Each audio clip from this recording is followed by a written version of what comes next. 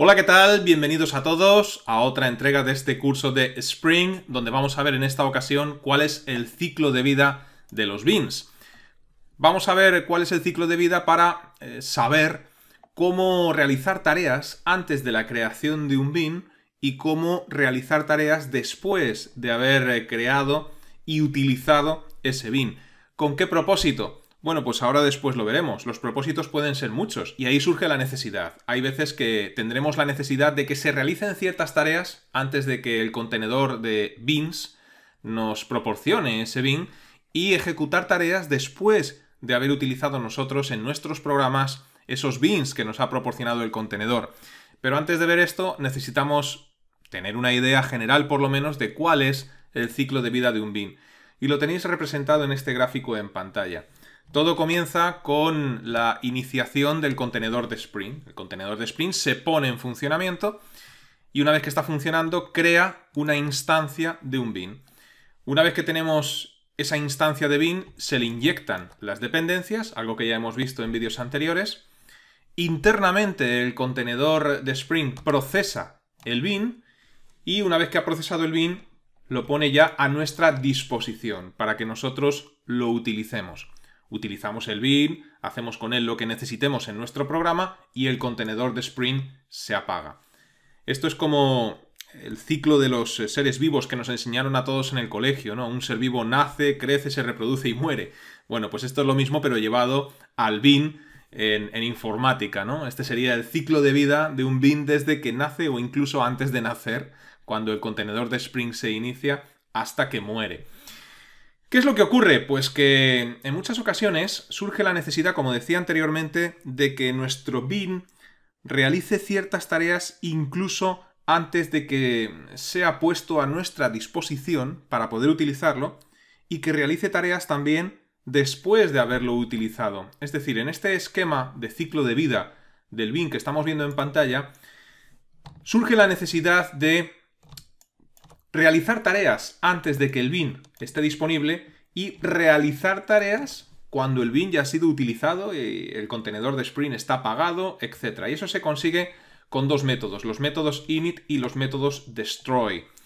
Podemos hacer que nuestro bin venga con instrucciones a realizar antes incluso de que esté a nuestra disposición y después de que haya sido utilizado. ¿Y eso cómo se consigue? Bueno, pues como decía, con métodos init y con métodos destroy. ¿Y con qué propósito? Bueno, pues el método init puede tener muchísimos propósitos. Por ejemplo, cargar antes de que el bin esté disponible para su uso, cargar dependencias de otros bins. Ya veremos más adelante que en ocasiones un bin necesita de otros bins que se hayan creado, previamente para poderlo utilizar. Pues ese puede ser un ejemplo. Otro ejemplo puede ser eh, para la activación retardada de servicios, por ejemplo, abrir un socket o abrir una conexión con una base de datos. Es necesario que ese socket, que esa conexión con la base de datos esté abierta antes de que el bin esté a nuestra disposición, de que lo podamos utilizar. Y bueno, muchísimos más propósitos. Lo mismo ocurre con el método destroy. El método destroy ejecutará las tareas de su interior cuando ya hayamos utilizado el bin, cuando el bin haya muerto, cuando haya terminado su ciclo de vida. ¿Con qué propósito? Bueno, pues por ejemplo, liberar recursos. Esas conexiones con bases de datos que teníamos abiertas, pues cerrarlas. Esos sockets que teníamos abiertos, pues cerrarlos. Y muchos otros propósitos más. Así que en definitiva es fundamental saber cómo ejecutar tareas antes de que podamos utilizar el bin y después de haberlo utilizado. Vamos a ver cómo hacer esto. Bien, pues nos vamos a ir a nuestro proyecto y vamos a elegir una clase de las que ya tenemos construidas para crear nuestros métodos init, bueno, nuestro método init, nuestro método destroy y ejecutar tareas antes y después. Y lo voy a hacer, por ejemplo, con director empleado, porque creo que es la clase que quizás menos hemos tocado. Aunque daría igual, lo podéis hacer con cualquiera, ¿eh? simplemente es por tener el menor código posible. Bien, pues en nuestra clase director empleado nos vamos a ir al final, por ejemplo, antes de donde tengo yo los campos de clase, aunque esto también lo podéis hacer en cualquier punto. Y aquí pues vamos a ver cómo crear método init, que sería el encargado de ejecutar, vamos a ponerlo aquí como comentario, ejecutar tareas antes de que el bin esté disponible justo antes. Y luego vamos a ver también cómo crear el método destroy, que es el encargado de ejecutar tareas cuando el bin, o después, mejor dicho, para que quede más claro, después de que el bin haya sido utilizado, por ejemplo, o el comentario que queráis poner, ¿no?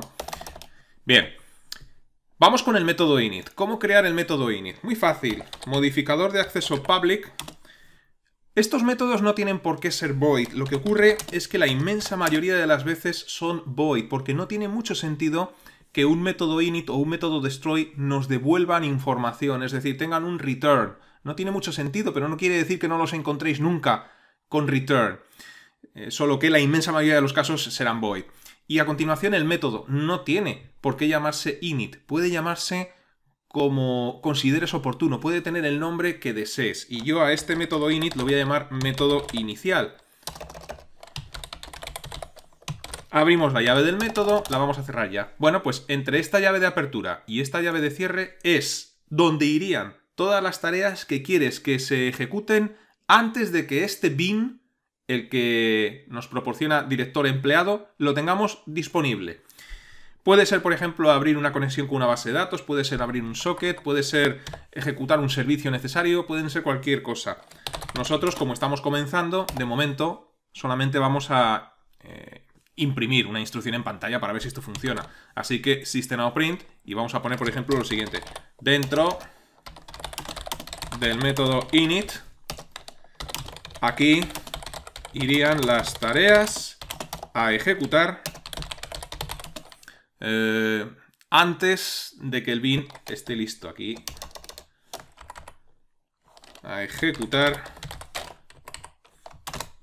Quería hacer un punto y aparte y me ha salido bastante mal. A ejecutar eh, antes de que el bin esté listo. Aquí cerraríamos el paréntesis del sistema print, punto y coma, y ya está. Este va a ser el método init. Como va a ser muy parecido, pues voy a copiar y pegar todo el método.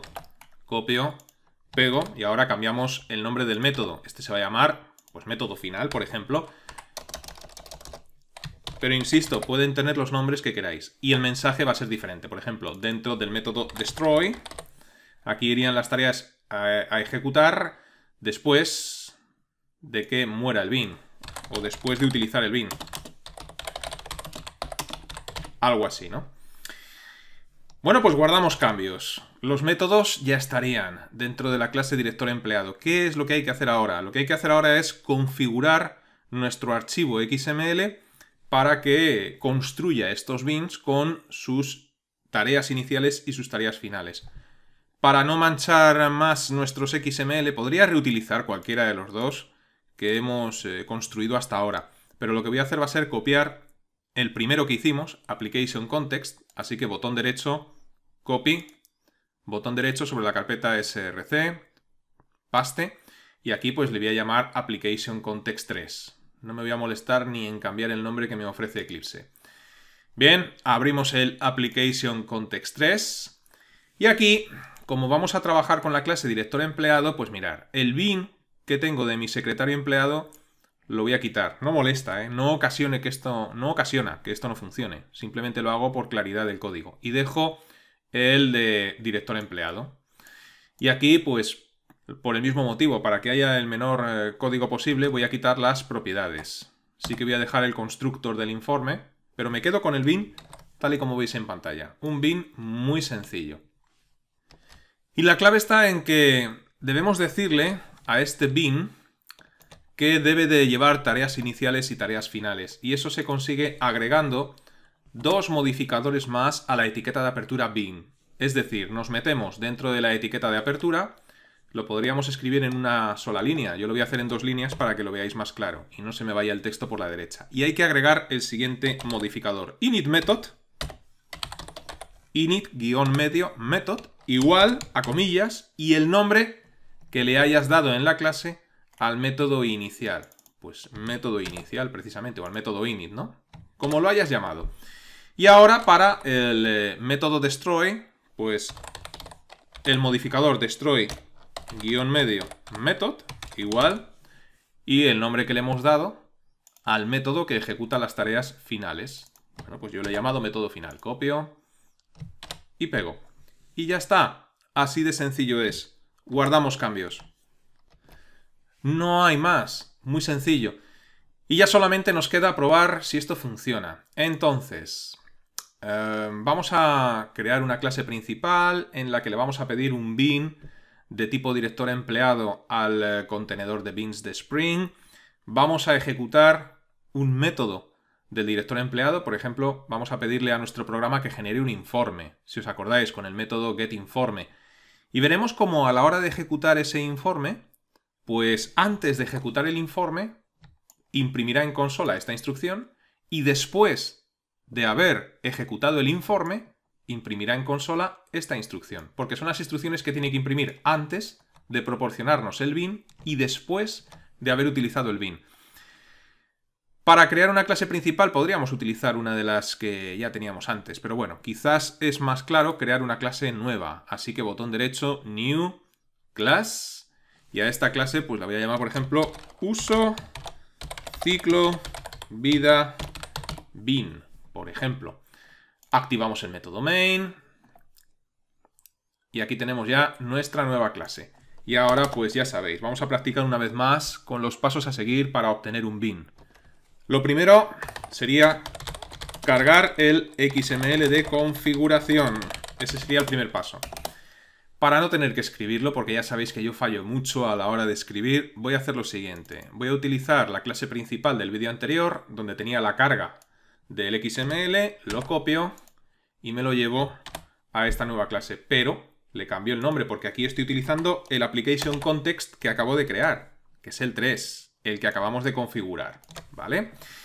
Bien, después de haber eh, cargado el XML de configuración, ahora vendría la obtención del bin. ¿Y eso cómo lo hacemos? Bueno, pues creamos un objeto de tipo empleados, al cual voy a llamar, por ejemplo, Juan, con mi nombre, y esto va a ser igual al contexto que hemos creado en la línea anterior, punto getBin. Y aquí el bin que le voy a pedir va a ser mi empleado, porque en el application context, si recordáis, esto lo hicimos ya hace tres o cuatro vídeos, el bin, este que creamos en su día, lo llamamos mi empleado. Y en definitiva nos va a proporcionar un bin de tipo director empleado. Así que, pues aquí mi empleado y ahora empleados.class. Punto y coma. Para finalizar, vendría cerrar el contexto. Y eso lo hacíamos utilizando el contexto creado anteriormente con el método close.